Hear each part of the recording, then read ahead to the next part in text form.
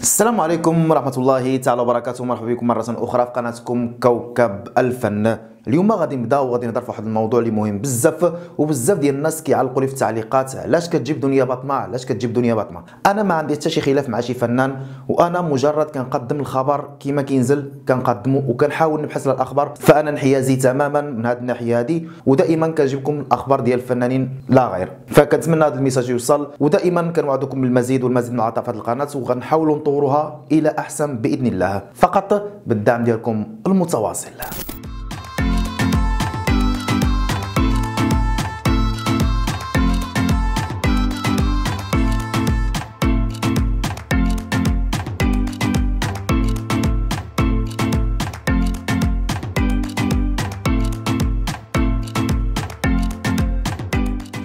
الأمير هشام العلوي يفاجئ المغاربة بصورة نادرة رفقة الملك محمد السادس. الإعلامي رشيد العلالي في مرمى الانتقادات. دنيا بطمة تعود من جديد وتفاجئ كل المتابعين. هذا ما قالته الفنانة الإماراتية أحلام بعد أن التقت بنوال الكويتية. ابن صلاح الدين الغماري يذرف الدموع وهذا هو السبب.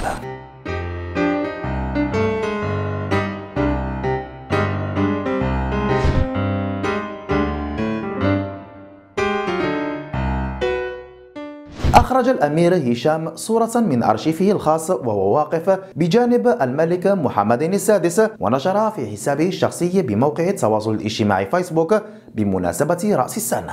ويظهر في الصورة الأمير هشام حاملا فيما يبدو كأس قهوة. ويتقاسم الابتسامة مع الملك محمد السادس في مناسبة خاصة بالعائلة الملكية في القصر الملكي بالرباط نهاية سنة 1998 حين كان الملك لا يزال وليا للعهد حيث بويع في السنة الموالية. ملكا للمغرب خلفا لوالده الراحل الحسن الثاني. وقال هشام العلوي الذي كان قد أسقط من نفسه صفة الأمير في منشور أرفقه بالصورة. بمناسبة حلول السنة الميلادية الجديدة 2022 أتقدم بخالص التهاني والمتمنيات إلى جلالة الملك محمد السادس وإلى والدة الأميرة لمياء وإلى جميع أفراد الأسرة الكريمة وكذلك إلى أخواتي وإخواتي المغاربة. وأتمنى أن تكون سنة 2022 انطلاقة جديدة للوطن بالتغلب النهائي على جائحة كورونا وسنة التعافي الاقتصادي والاجتماعي وسنة الانفراج الحقوقي الشامل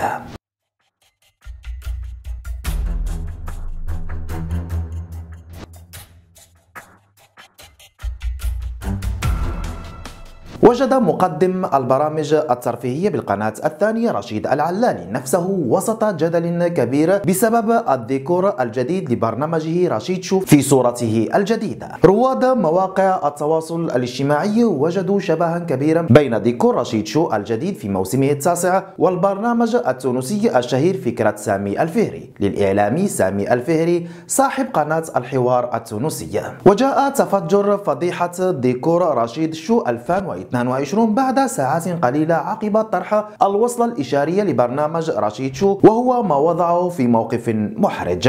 وانتقد عدد من المتابعين على مواقع ال social media قرصنة العلالي لتصميم ديكور البرنامج التونسي المذكور بتفاصيله الدقيقة واللجوء إلى قرصنة الأفكار على شاكلة copié-collé. وبثت القناة الثانية دوزيم أولى حلقات الموسم الجديد من رشيد شو يومه الجمعة الماضية. أي ليلة رأس السنة. وفيها بدا ديكور البرنامج نسخة طبق الأصل من البرنامج التونسي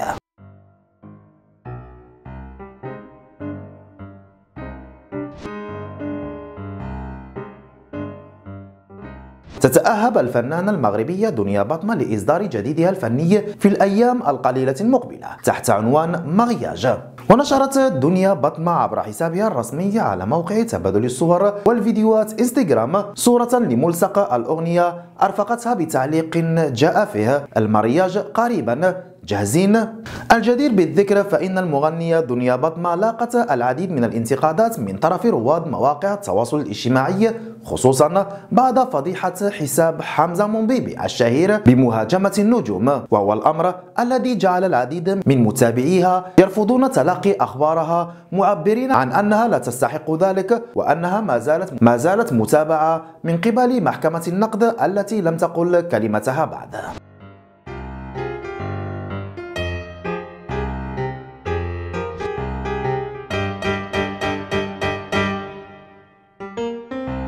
خلال وجودها في الرياض لإحياء حفل رأس السنة. على مسرح الفنان محمد عبدو وبمشاركة 14 فنانا وبتنظيم من روتانا نشرت الفنانة أحلام فيديو جمعها مع الفنانة نوال الكويتية وعلقت الله لا يغير علينا يا عيون أختك وتفاعلت مع الفنانة نوال الكويتية وكتبت اللهم آمين حبيبتي.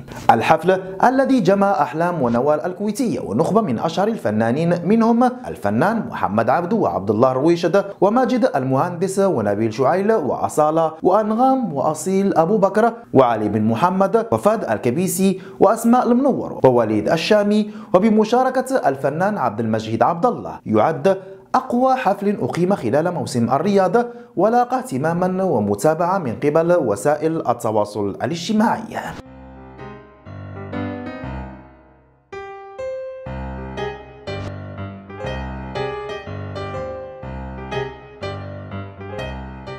وجهت الفنانة المغربية أمال صقر رسالة لمتابعيها عبر حسابها الرسمي على موقع تبادل الصور والفيديوهات إنستغرام بمناسبة حلول السنة الجديدة.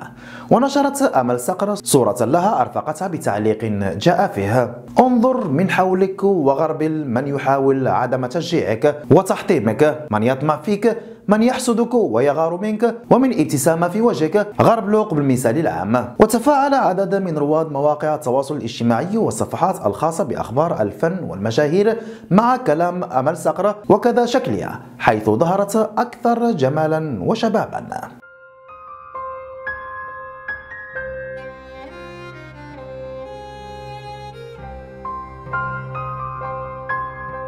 لقد غاب عن مواقع التواصل الاجتماعي لمدة طويلة وبالأخص عن اليوتيوب لكن في الفترة الأخيرة تداول العديد من النشطاء فيديو حيث ظهر فيه كريم ابن الراحل صلاح الدين الغماري في الذكرى السنوية لوالده التي تم تنظيمها بالقناة الثانية والتي عرفت حضوره رفقة والدته وجدته من أجل افتتاح استوديو باسم والده بالقناة. وكانت هذه المناسبة كافية لجعل كريم الغماري يذرف الدموع على والده الذي كانت وفاته بمثابة صدمة قوية على كل المغاربة. وقد ظهر كريم في الفيديو وهو متغير حيث أصبح شابا وسيما لفت الأنظار إليها. إلى هنا نصل إلى نهاية هذا الموجز. شكرا على حسن المتابعة وإلى فيديو لاحق بإذن الله.